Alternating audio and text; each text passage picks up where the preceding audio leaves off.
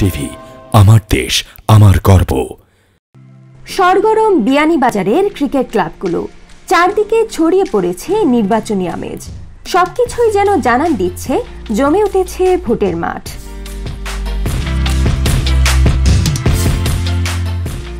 আসছে ষোলোই সেপ্টেম্বর বিয়ানীবাজার উপজেলা ক্রিকেট অ্যাসোসিয়েশনের দু হাজার বাইশ সেশনের নির্বাচন। এরই মধ্যে নমিনেশনও কিনে ফেলেছেন প্রার্থীরা। সব মিলে বিয়ানীবাজারের ক্রিকেট পাড়ায় বইছে নির্বাচনী হাওয়া।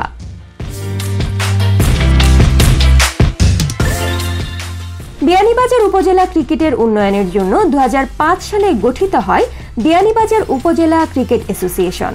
এ পর্যন্ত অনুষ্ঠিত হওয়া অ্যাসোসিয়েশনের আটটি নির্বাচনের পাঁচটিতে প্রতিদ্বন্দ্বী না থাকায় সিলেকশন পদ্ধতি ও বাকি তিনটিতে ভোট যুদ্ধে নির্বাচিত হন প্রার্থীরা।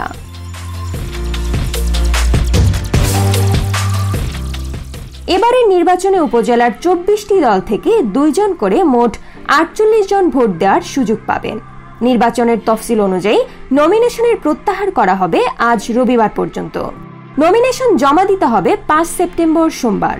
ভোটার তালিকা প্রকাশ হবে ছয় সেপ্টেম্বর মঙ্গলবার আর প্রার্থীদের নিয়ে বৈঠক হবে সাত সেপ্টেম্বর বুধবার। ষোলোই সেপ্টেম্বর শুক্রবার গুলাবিয়া পাবলিক লাইব্রেরি হল রুমে বিকেল তিনটা থেকে পাঁচটা পর্যন্ত ভোট গ্রহণের কথা রয়েছে।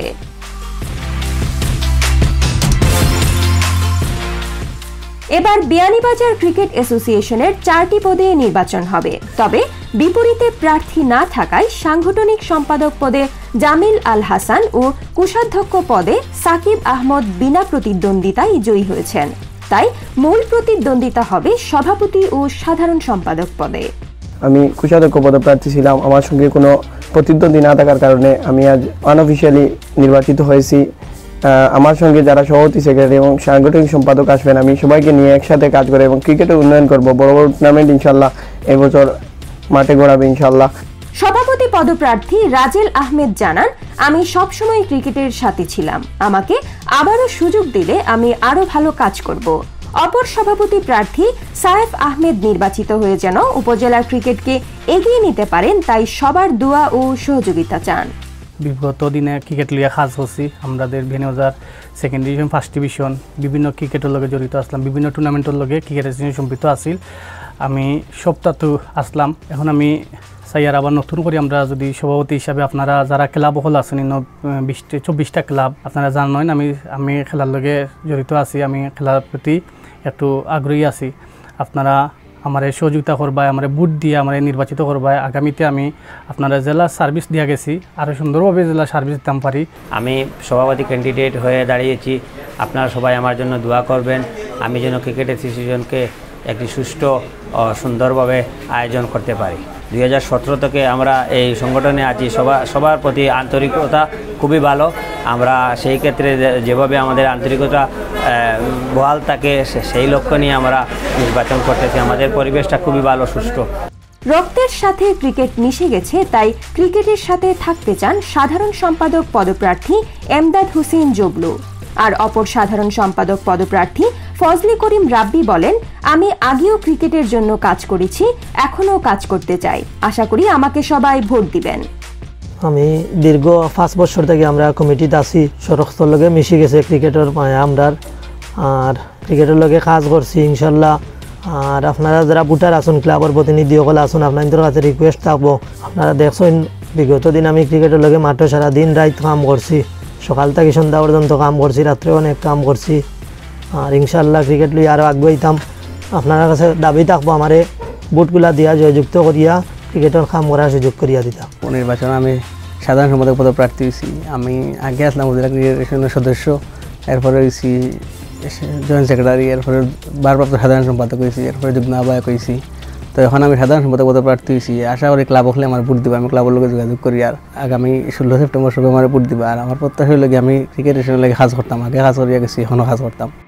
সাবেক ক্রিকেটার ও সংগঠনের সাথে কথা হয় ম্যাপ টিভির তারা জানান, সঠিক সময়ে মৌসুমের খেলাগুলো যেন মাঠে গড়ায় সেদিকে লক্ষ্য রাখতে হবে অ্যাসোসিয়েশনের নতুন কমিটিকে। সেই সাথে উপজেলার ক্রিকেটের উন্নয়নে কাজ করতে হবে। বিএনই বাজারের সকল ক্রিকেটার্সের আসলে অনেক চাওয়া পাওয়া থাকে অ্যাসোসিয়েশনকে কেন্দ্র করে।